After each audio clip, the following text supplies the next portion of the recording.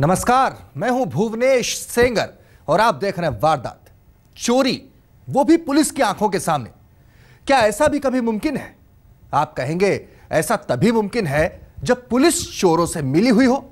लेकिन आज हम आपको जो वाकया दिखाने जा रहे हैं, उसमें पुलिस के चोरों से मिले होने जैसी कोई बात नहीं है। लेकिन फिर भी चोरी होती है, पुलिस की आँखों के सामने होती है। आखिर कैसे होता है सब? देखेंगे तो चौंक जाएँगे।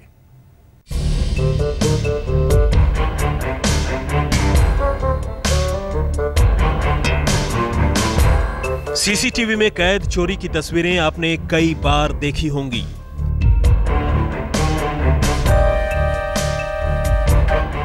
आपने कई बार चोरों को कैमरों से बचने की जुगत करते भी देखा हो।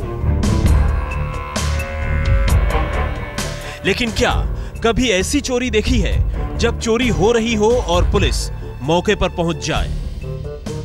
यकीनन आप कहेंगे कि अगर कभी ऐसा हुआ तो भी चोर या तो मौका वारदात से भाग जाएँगे या फिर मौके पर ही पकड़ लिए जाएँगे। लेकिन यहाँ मामला बिल्कुल अलग है। यह वाक्य है दिल्ली के नजफगढ़ का। तारीख 18 नवंबर 2014 वक्त, सुबह के करीब चार बजकर चालीस मिनट। सर्दी की सुबह में अभी सूरज का दूर दूर तक नामो निशान नहीं है। चारों ओर सन्नाटा है और रोड लाइट्स जल रही हैं। तभी अचानक शॉल ओढ़े पाँच छह महिलाएँ बाज़ार की इस गली में नज़र आती हैं। चूँकि तमाम लोग नींद में हैं, इन महिलाओं पर निगाह रखने के लिए इस सीसीटीवी कैमरे के अलावा फ़िलहाल यहाँ कोई भी नहीं। ऐसे में किसी को इनके इरादे से वाकिफ होने का सवाल भी नहीं उठता। ये महिलाएँ कुछ दूर चलती हैं और फिर एक दुकान के सामने बैठ जाती हैं। इसके बाद वे बड़े ही शातिर तरीके से इस दुकान का शटर तोड़ने की कोशिश करती हैं। लेकिन सरसरी तौर पर देखकर उनकी इस कोशिश का अंदाज़ा लगाना मुश्किल है। शटर आसानी से नहीं टूटता, लिहाजा ये अपना प्लान बदल देती हैं और अगली दुकान की तरफ़ बढ़ जाती हैं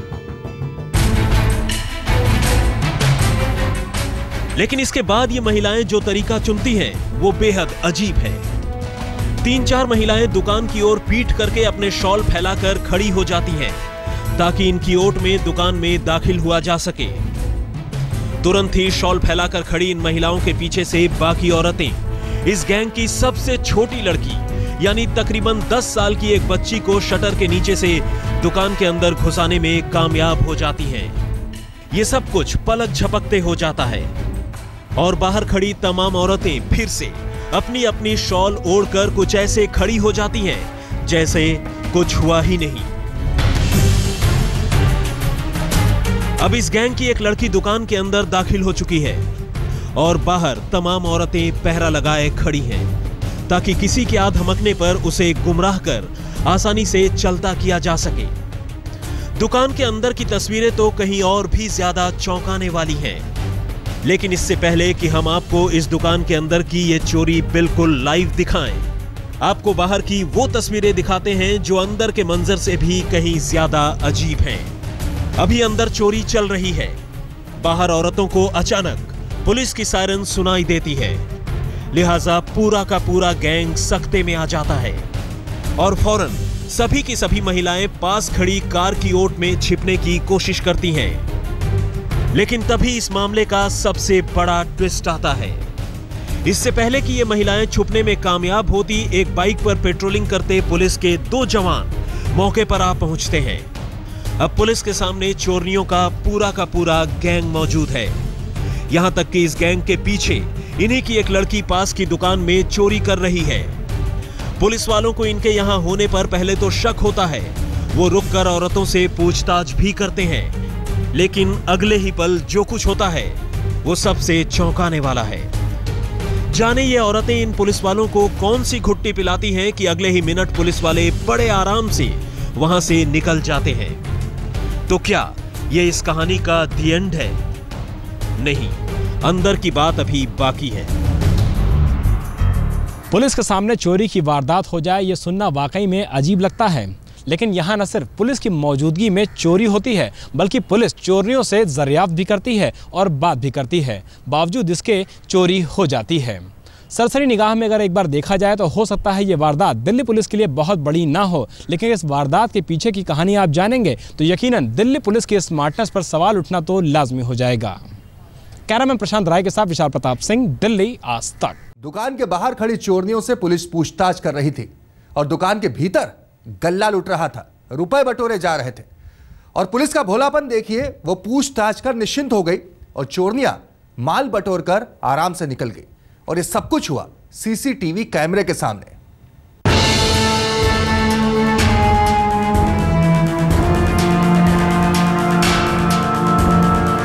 अंदर चोरी, बाहर पहरेदारी और साथ में पुलिस। अजीब है ना? पहली बार अपनी दुकान की ये तस्वीरें देखकर इसके मालिक को भी अपनी आँखों पर यकीन नहीं हुआ। यकीन नहीं हुआ कि कैसे चोरनियों का एक पूरा का पूरा गैंग, न सिर्फ़ उनकी दुकान से हज़ारों रुपयों पर हाथ साफ़ कर गया, बल्कि ये सब कुछ पुलिस वालों की आँखों के सामने होता रहा। लेकिन फिर भी पुलिस वाले इन चोरनियों का बाल भी बांका नहीं कर सके। गरज ये कि आँखों के सामने चोरी होने के बावजूद पुलिस वालों को ये गुमान नहीं हुआ कि ये औरतें इस दुकान में चोरी कर रही हैं।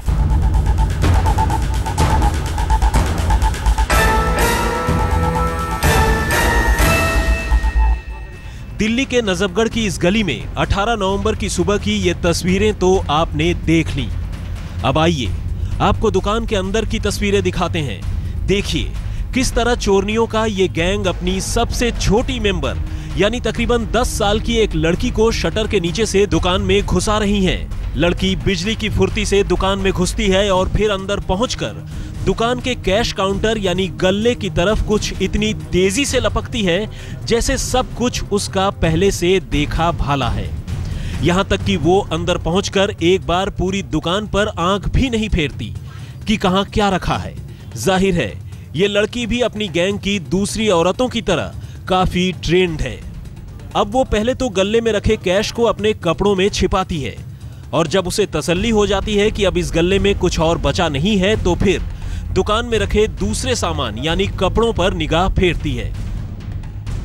मन ललचता है, और अब रुपए बटोरने के बाद वो कुछ कपड़े ट्राई करने लगती है। इधर वो तसल्ली से दुकान में रखे सामानों पर हाथ साफ़ कर रही है, और उधर बाहर खड़ी चोरनियाँ पुलिस वालों को अपनी बातों में उलझा रही हैं।